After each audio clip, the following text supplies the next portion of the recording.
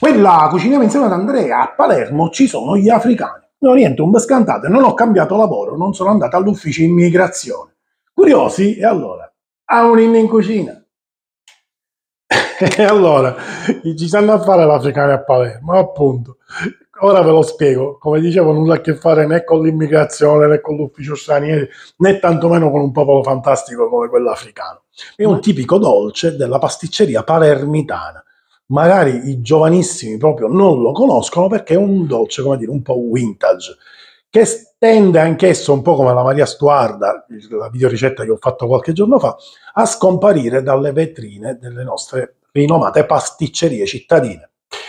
Questo è un dolce parecchio ricco, quindi secondo me tendenzialmente tende a non essere più gradito perché il palato ormai oggigiorno cerca in tutti i modi di affinare le proprie papille gustative e cerca di non caricare in maniera eccessiva di zuccheri e grassi anche i dolci. E questo, come dicevo, è un dolce molto ricco. È ricco di cioccolato, è ricco di frutta secca, di zucchero. È un dolce impegnativo. Oserei dire pesante. Io oggi tenderò leggermente ad alleggerire un attimino quello che è fondamentalmente il ripieno di questo straordinario dolce e lo presenterò a voi perché credo che ne valga la pena e merita sicuramente un posto nell'Olimpo della pasticceria palermitana. Adesso andiamo ad eseguire tecnicamente quello che è la ricetta, una ricetta parecchio semplice. Troverete tutti gli ingredienti scritti in descrizione eh, con le grammature e quant'altro e quindi adesso non ci resta altro che cominciare a fare il ripieno. Mettiamo il latte in un tegamino e portiamolo in ebollizione. In un'altra ciotola, mentre il latte va in ebollizione, uniamo le polveri, quindi il cacao, l'amido di mais e lo zucchero. Mischiamo tutti e tre gli ingredienti per bene e aspettiamo che il latte bolle. Nel frattempo che il latte bolle, vi dico di che si tratta, perché sicuramente qualche pasticcere palermitano già storce il naso. Allora, come vi ho detto nell'introduzione di questa ricetta, io sto cercando di alleggerirlo un pochino, non tantissimo, perché sennò vado a snaturare quello che è la, l'essenza di questo, di questo dolce. Vado ad alleggerire. Lo vado ad alleggerire partendo dalla farcia. La farcia di questo dolce solitamente nasce con una crema che in Palermo chiamiamo truff. È una crema fatta con base di cioccolato fondente e in par misura di panna. Lo si posiziona la panna, la si unisce al cioccolato e poi si fa raffreddare e si ottiene questa crema che in Palermo chiamiamo truffa, alla fine è come una ganache. Siccome è parecchio impegnativo perché la panna comunque ha un suo perché, io adesso la sto lavorando in maniera un po' più delicata. Ho sostituito la panna con il latte, uso un addensante che è l'amido, ho diminuito un po' la percentuale di zuccheri e il ripieno non è soltanto cioccolato fondente al 70-80%, ma l'ho miscelato con una piccola percentuale di cioccolato al latte, così da rendere quantomeno al gusto un po' meno aggressivo questa appunto farcitura.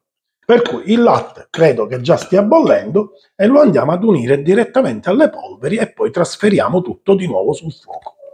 Allora ne cominciamo a versare una parte sopra le nostre polveri e misceliamo il tutto.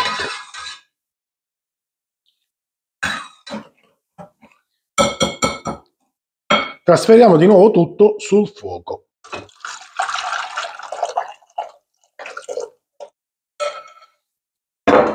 Misceliamo per bene e accendiamo fuoco medio.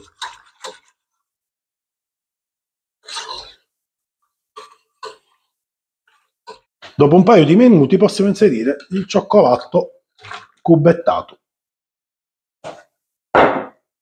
Adesso dobbiamo fare addensare questa crema. Quindi fuoco sempre basso e mescolate in continuazione per evitare che si attacchi al fondo.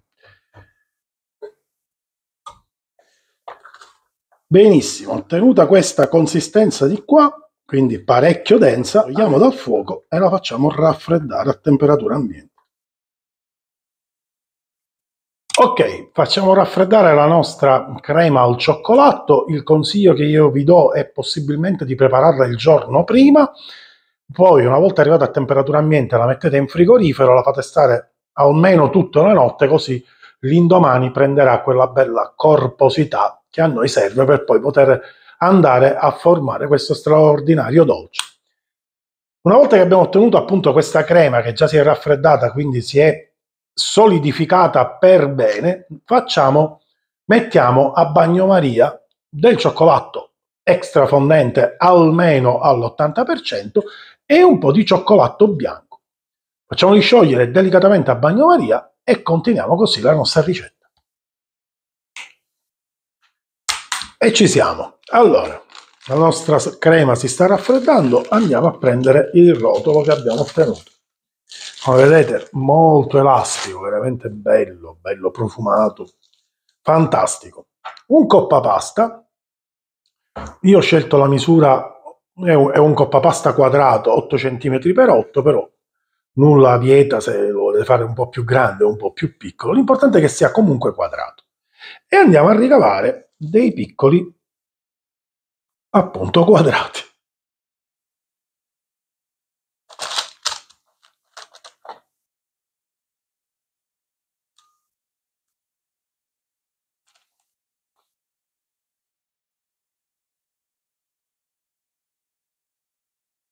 e li teniamo da parte. Questa sarà la nostra base per l'africano.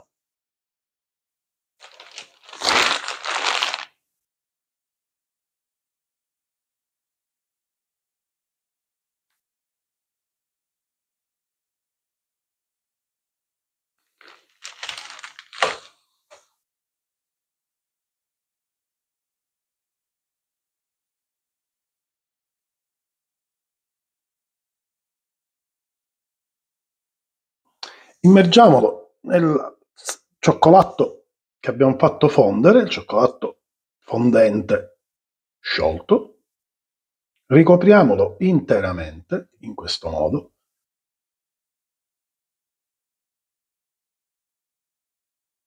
e trasferiamolo per farlo asciugare su una graticola. Una volta solidificato il nostro africano lo andremo ad immergere nel cioccolato bianco fuso e lo andiamo a fare in entrambi i lati, le due estremità.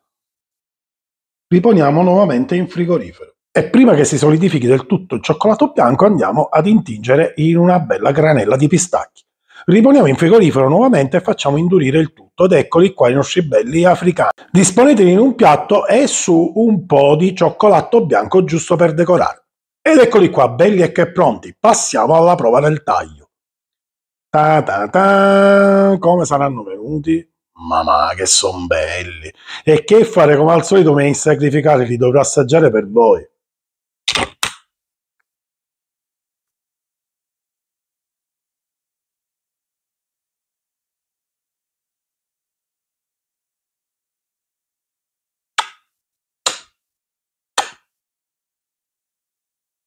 Medalade!